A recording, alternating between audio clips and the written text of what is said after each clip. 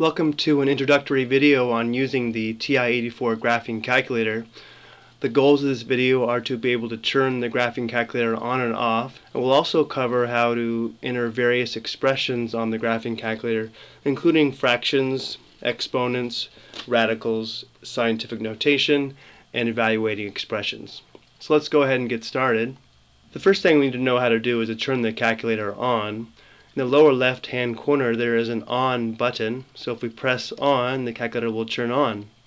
To turn it off we have to press second and then on again. You can see the off right above the on button. So let's go ahead and turn it back on. Now let's take a look at the mode settings. Here is the mode button. Let's press this. And the main thing I want to talk about here is this second row where it has the word float and then the numbers 0 through 9. I recommend leaving it on float. If you do set it to a fixed number of decimal places, let's say 3, and if I press enter, and then go to the home screen by pressing second mode for quit, if I press 3 plus 2, it'll look strange. It'll have 5.000. It will always have three decimal places to the right of the decimal point if you have it set at three fixed decimal places. So if you go back to mode and leave it on float, press down, enter, and then quit, second mode. Now if I press 2 plus 3, it won't have extra decimal places, and it will only include decimal places when needed. So for example, if I press 3 divided by 2, it will return 1.5. If we go back to the mode just for a moment, there are a lot of other settings here, but for right now we're only going to be dealing with expressions, so that's the only row that I will cover. If I want to clear this home screen, I press clear here, and we'll position the cursor in the top left corner. So now let's talk about how we can perform calculations on the home screen. Working with fractions is very easy on this graphing calculator. Now there is no special fraction key Remember that a fraction bar is just a division symbol, so if I want to enter 1 half, I would just type in 1 divided by 2. Now if I hit enter, it will convert this fraction to a decimal. But let's say I want to find the sum of 1 half and 1 third. I like to enter the fraction in a set of parentheses, so 1 divided by 2, close the parenthesis, there's the 1 half, plus, open parenthesis, 1 divided by 3, a close parenthesis.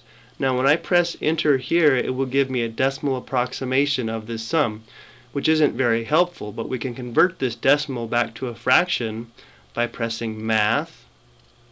And notice how the fraction option is already highlighted. Press enter and then enter. And that sum is 5, 6.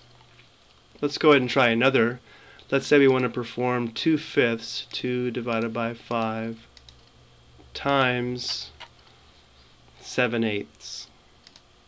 7 divided by 8, close it, press enter. This will give me a decimal. To convert this decimal to a fraction, we press math, enter, enter. And that would be 7 twentieths.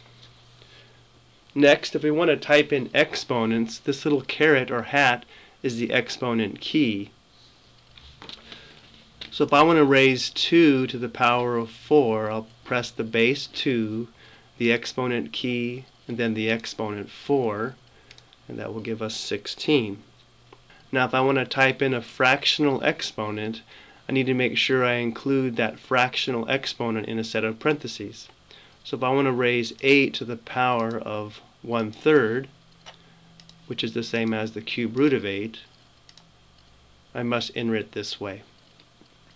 Next, let's take a look at radicals. Let's start by talking about the square root. The square root you can see right above the x squared key. So if I press second x squared, it brings up the square root. Then I type in the radicand, close the set of parentheses, press enter, and that will give us the square root. Now for the cube root we can press math and you can see option 4 is a cube root with an index of 3. So if we press 4 or you can scroll down and hit enter, I'll press 4. it brings up the cube root command. And if we type in our radicand, press enter, it will evaluate that for us. Now any index higher than 3, we have a different procedure. For example, if we want to find the fourth root of 81, the first step is to type in the index 4, press math, and then you can see option 5 has an index of x. So if we select option 5, this notation is the fourth root of 81. Press enter and it evaluates it. Now let's go ahead and talk about scientific notation. If we want to type in 5 times 10 to the negative third power, we press 5. Here we see two capital E's. This is the command for scientific notation.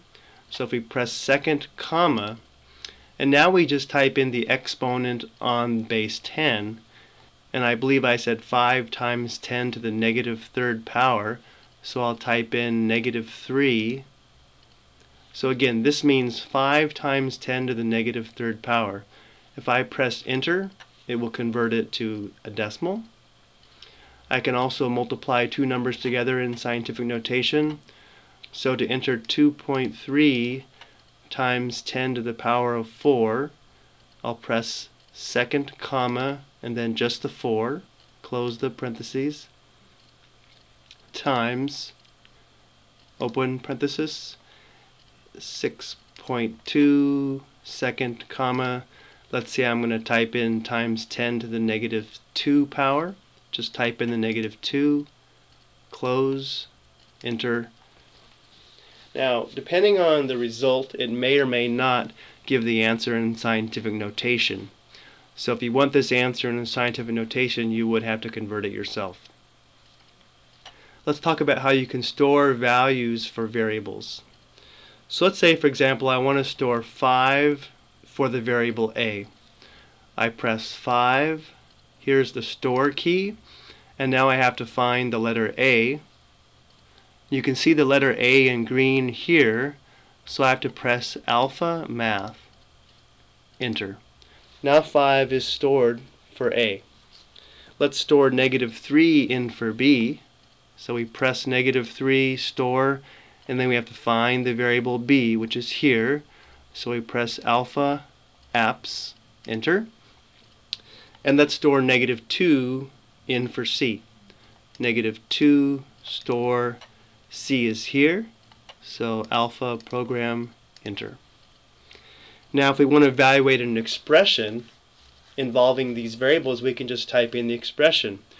So for example, if we wanted to evaluate b squared minus 4ac, which happens to be the discriminant in the quadratic formula, we can just type in b, which is alpha apps, squared.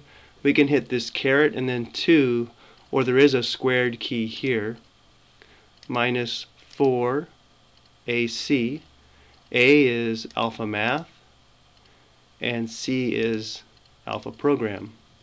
Press enter and our discriminant would be 49 or this expression b squared minus 4ac is equal to 49. This is a nice way to check your work when you're evaluating expressions. I hope you found this introductory video helpful. Thank you for watching.